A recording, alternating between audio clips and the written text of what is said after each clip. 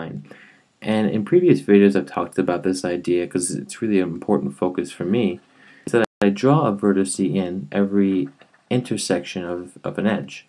So anytime lines cross, I'm drawing this dot or vertex. It's not always true in every graph, but we can assume it here because um, we're given a blank graph without vertices, so it makes sense to, to put them in where they might go.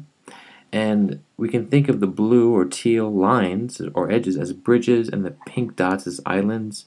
So the question then is, if I'm sitting here at one of these islands, which one do I start from in order so I can walk around every bridge, get to every island, and without crossing any bridge more than once? So can I get to every island and cross every bridge without using a bridge more than once? And the answer is yes. Uh, next important step is to write down the degree of each vertex, which is the number of edges going to it. And that usually reveals some very important information. Notice here that there are only two vertices with an odd degree.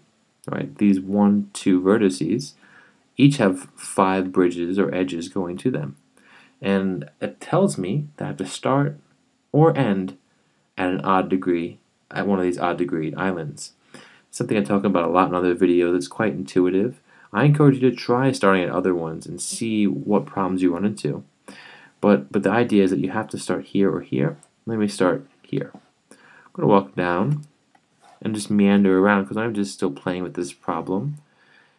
Especially when you're, you're new to graph theory, you want to get a sense of it by playing with it. Playing with numbers and graphs can really give you a sense of the mathematics. And the way I'm playing with this is just to make sure that I never actually get stuck on an island. That's exactly what I'm doing here. Just showing you how you can actually get around across every bridge without running into any trouble. Alright, hope that helped.